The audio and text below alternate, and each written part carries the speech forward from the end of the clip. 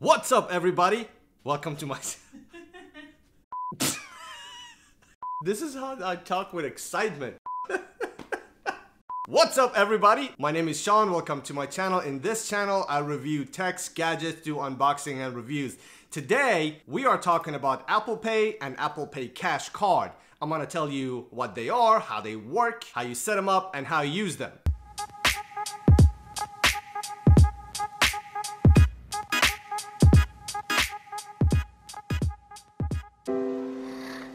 Stay like this, forever following you.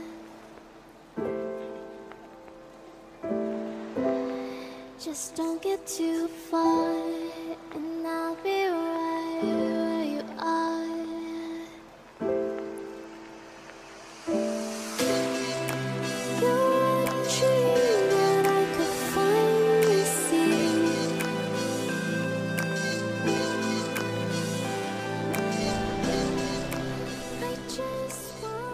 So Apple Pay came out with the introduction of iOS 8.1 and iPhone 6. So it's been around for a while, but there's still a lot of people don't know enough about them. So today I'm gonna tell you about Apple Pay and Apple Pay Cash Card, what it is, how it works, and how to set it up. So Apple claims this is a very secure and private way and convenient way for you to pay for your products. Every time you swipe your card, your account information, your name, it will be transmitted through the merchant to your financial institution and then it gets authenticated and approve the transaction.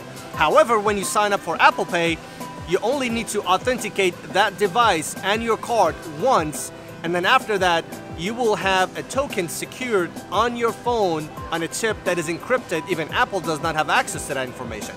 And when you are getting ready to use your Apple Watch or your iPhone to pay for a product, then your device will generate a random key and that encrypted key will be sent to your bank.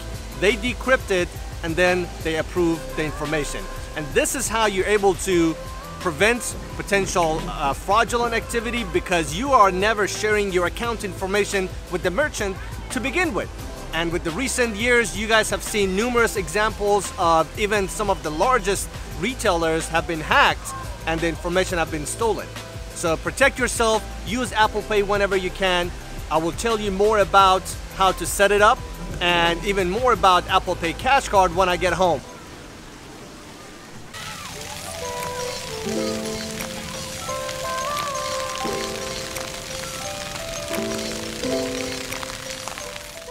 When you use Apple Pay and you send and receive money through Messages app, it will be stored on the Apple Pay Cash Card. In order for you to use Apple Pay Cash Card, you need to be at least 18 years old and also it is still not available in all countries yet.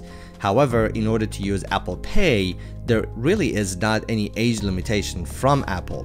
As long as legally you're able to obtain a credit or debit card in your name based on the laws and rules in your country or county or state you live in, then you will be able to add that to Apple Pay and use it. There are two ways you can add a card to your Apple Pay. One is through the Wallet app, the other is through settings. Wallet is a lot easier and faster, but I'm going to show you both of them. First, open up the Wallet app. At the top right, you see the blue plus icon. Then you will see this page. Once you hit continue, then it will give you two options to add the card. One is through scanning the card and the other is entering the card manually. Next, let me show you how you can do the same thing through the settings app. So let's go ahead, open up settings. You scroll down to get to Wallet and Apple Pay and here you have the option to add a card. As you can see I already have a couple of cards added. This is where by the way you see your Apple Pay cash card and available balance as well. So here you have the option to add a card which will take you to the same screen. There we go right here. And you will be able to toggle on if you want to go ahead double click the side button to be able to activate and authorize paying with Apple Pay. Obviously, this is for iPhone 10, 10s, 10x Max, and 10R, where you have the side button. In older phones, iPhone 8, 8 Plus, 7, 7 Plus, and 6s uh, and 6, then uh, and 6s Plus, you will be able to have the option to double click the home button to be able to authenticate that.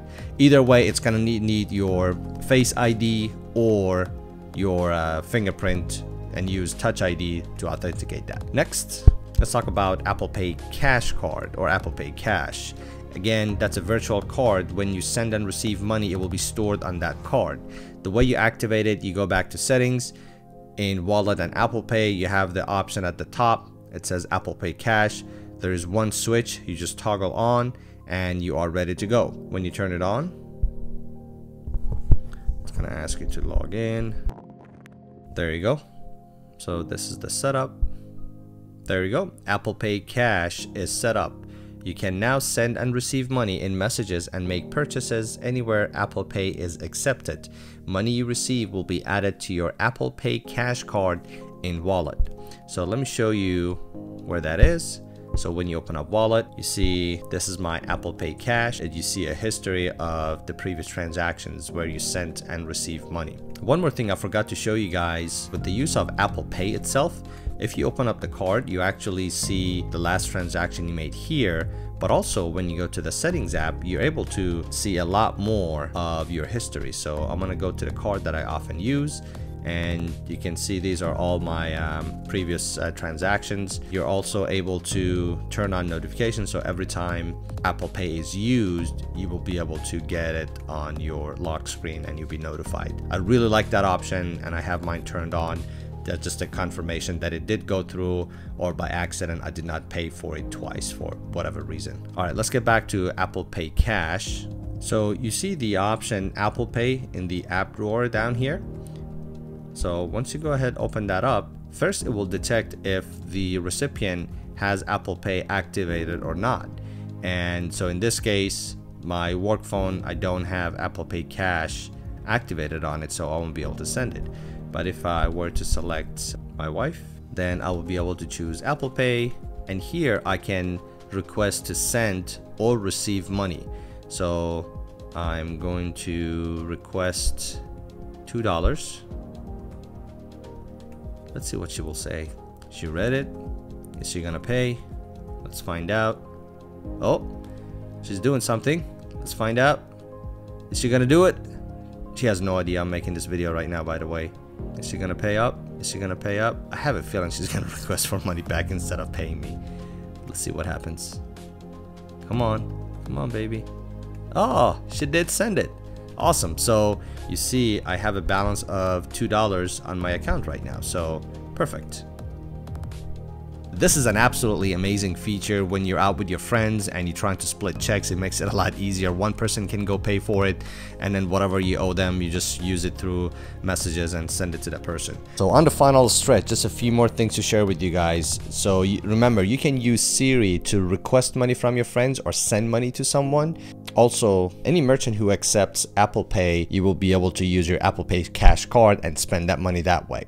But also, you will be able to take that money out of your Apple Pay cash card or add money to it. So you go to settings, go to wallet and Apple Pay, click on your Apple Pay cash, and under info, you see you have the option to add money or transfer money to bank.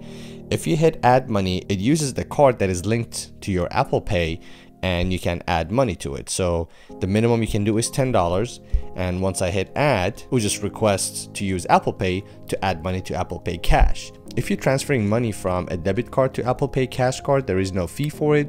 However, if you're using your credit card and transferring money from your credit card to Apple Pay Cash Card. There are some fees associated with it. I think it's about 3%, but don't quote me on it. I just want to let you know that it's not going to be free, but your debit is going to be free.